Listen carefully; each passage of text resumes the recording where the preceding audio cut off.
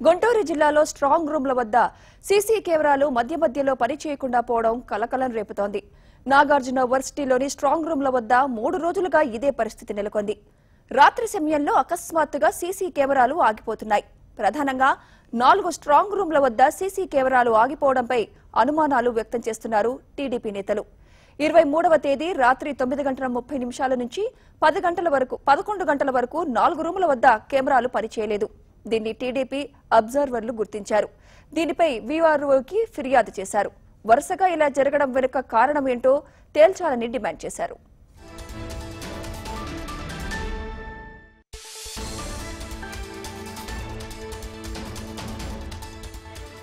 ఉన్నట్టుండి స్ట్రాంగ్ రూమ్ల వద్ద సీసీ కెమెరాలు ఆగిపోతున్న విషయం తెలిసి మంత్రి నక్క ఆనంద్ బాబు నాగార్జున యూనివర్సిటీకి వెళ్ళారు.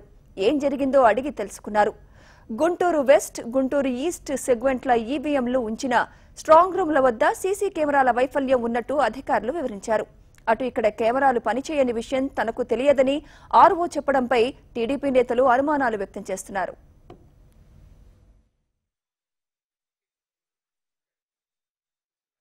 కనీసం నైన్ థర్టీకి ఆగినప్పుడు కనీసం ఆర్ఓకి కూడా ఇంటిమేషన్ లేదు. ఆర్ఓకి కూడా మేము ఫోన్ చేస్తే మాకు తెలియదు అని చెప్పడం జరిగింది. కాబట్టి ఉన్న స్టాఫ్ని కోరుతాం. ఏమైనా ప్రాబ్లమ్స్ ఉంటే ముందు ఆర్ఓకి కానివ్వండి ఇమీడియట్గా క్యాండిడేట్స్ తెలిసే విధంగా మరి ఎడమిడే చర్య తీసుకోవాలని చెప్పి మేము మరి జిల్లా యంత్రాంగాన్ని అలాగే ఎలక్షన్ కమిషన్ కూడా కోరటం కోరుతా ఉన్నాము. స్ట్రాంగ్ రూమ్ వద్ద ఉన్నటువంటి సీసీ కెమెరాలు పనిచేయకపోవడం అక్కడ మాకు ఇక్కడ ఉన్నటువంటి ఇన్ఛార్జీలు క్యాడర్లో మెసేజ్ వెళ్ళిపోయి అంత గందరగోళం ఉన్నటువంటి పరిస్థితిలో స్థానిక ఎవరైతే ఇన్ఛార్జ్గా ఉన్నారో ఆరో గారికి పదిసార్లు ఫోన్ చేయడం జరిగింది. ఆయన అందుబాటులో రాకపోవడం వల్ల డిఎస్పీ గారితో మాట్లాడి కుటాడుని మేము కూడా ఇక్కడికి వచ్చి పరిశీలించడం జరిగింది.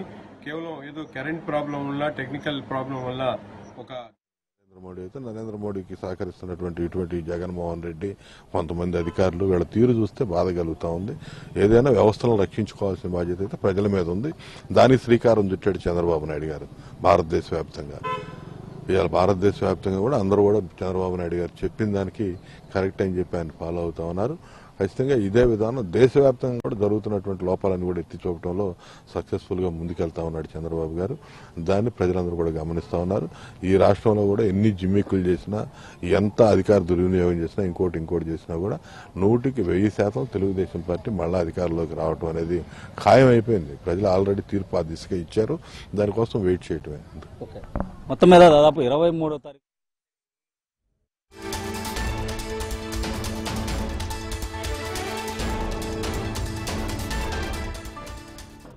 ఇదే అంశానికి సంబంధించి మరింత సమాచారం మా ప్రతినిధి రవీంద్ర అందిస్తారు. రవీంద్ర మరి కట్టుదిట్టమైన భద్రత ఉండాల్సిన స్ట్రాంగ్ రూమ్స్ దగ్గర సీసీ కెమెరాలు పనిచేయకపోవడం ఎలా అర్థం చేసుకోవాలంటారు? రాజేంద్ర.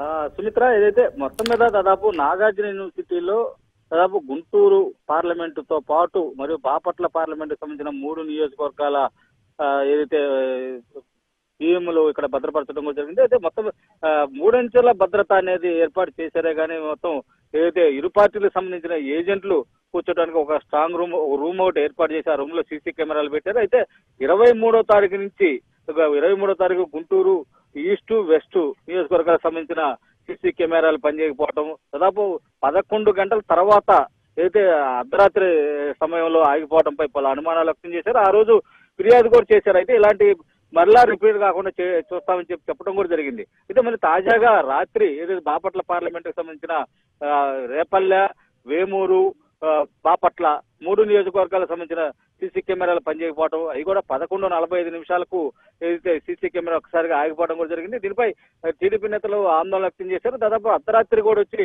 రెండు మూడు గంటల దాకా కూడా వచ్చి ఇక్కడ ఏదైతే నాగార్జున యూనివర్సిటీ దగ్గర ఈఎంఎల్ దగ్గర ఉండటం కూడా జరిగింది. అయితే ఉదయం ఫిర్యాదు చేశారో. ఈ నేపథ్యంలో న- మంత్రి నక్కానంద బాబు ఈ రోజు నాగార్జున యూనివర్సిటీకి ఏదైతే ఇక్కడికి వచ్చి పరిశీలించడం కూడా జరిగింది. దాదాపు టీవీ ఫైవ్తో మాట్లాడుతూ అయితే పలు అనుమానాలు వ్యక్తం చేస్తున్నారు. ఇలాంటి మూడంచెల భద్రత అయితే ఏర్పాటు చేశారే కానీ సీసీ కెమెరాలు ఆగిపోవడంపై పలు అనుమానాలు అయితే ఉన్నాయి. ఒక స్వయంగా అధికారులు ఒప్పుకున్నారు. కానీ ఎవరికి చెప్పుకోలేని పరిస్థితి కూడా ఈ రోజు రాష్ట్రంలో జరుగుతుంది.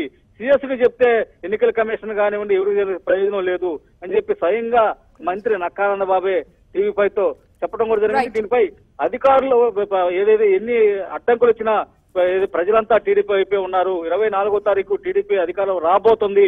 వచ్చిన తర్వాత ప్రజలకి న్యాయం చేస్తాం. ఇలాంటి అధికారులు ఇచ్చేస్తామని చెప్పి చెప్పడం జరిగింది.